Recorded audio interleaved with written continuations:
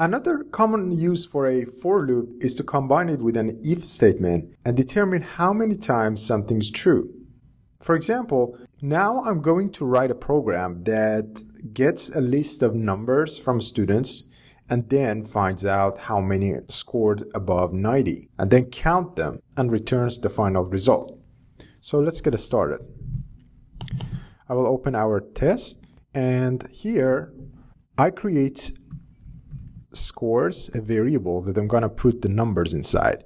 So let's go 30, 65, 91, 87, 56, 93, 82, 99, and 90.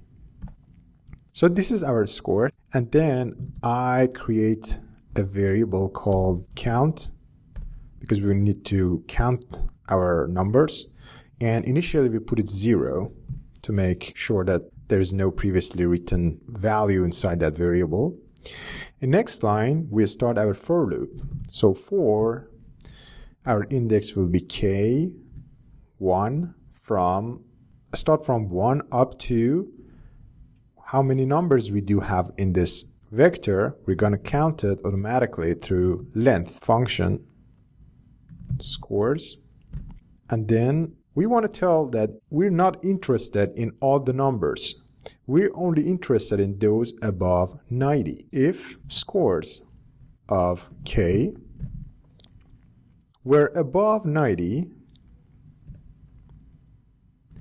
then count equals count plus 1.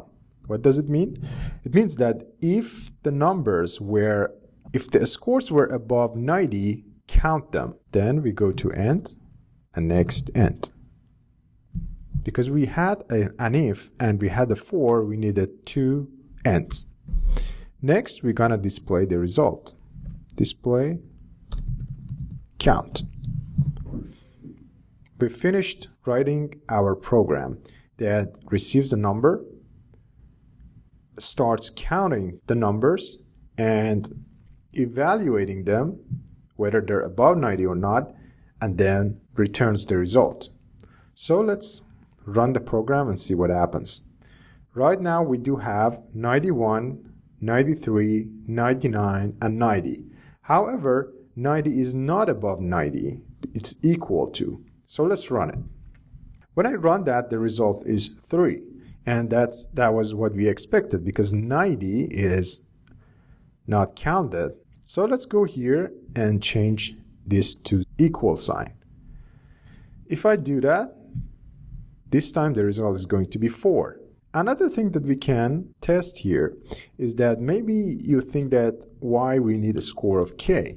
Let's go with the scores because the scores are recorded here. If the scores were above 90, let's see what happens.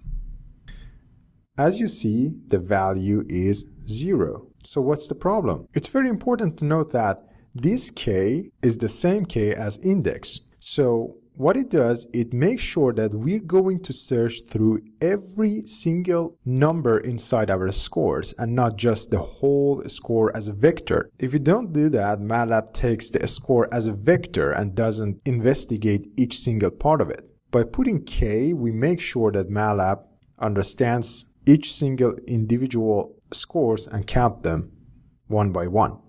So by now, it's 4. Let me bring this to 81.